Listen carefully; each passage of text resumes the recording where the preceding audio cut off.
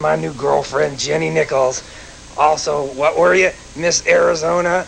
Yes. And you're one of the, the Valley's best opera singers, I hear. And I Oh, want you well, to do thanks. a song with me that I just wrote that I think you're really going to like. Okay, great. Let's hear it.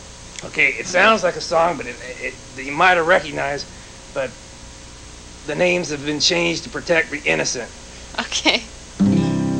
Home, home on the range, where the cows and the antelope strange, where seldom's a moan, all the animals groan, and the sheep and the rest are deranged.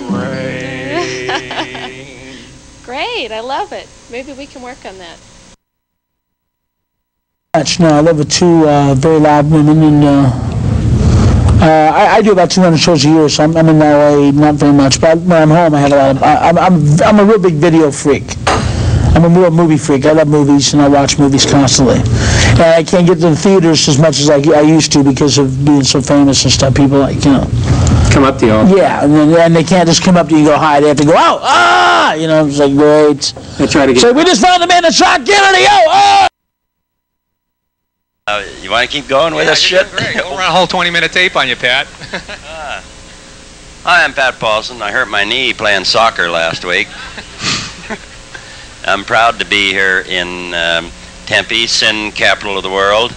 This is where ASU is, and uh, it's what these kids are here. Are some of the brightest kids that uh, they're uh, they're not bright at all. Most of them are they're really stupid here, actually. Uh, You're not going to win an election But, that uh, way.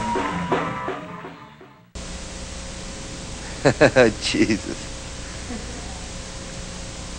Good evening. Hello. How are you? This is Michael Finney with BS Cactus, inviting you to watch us on Backstage.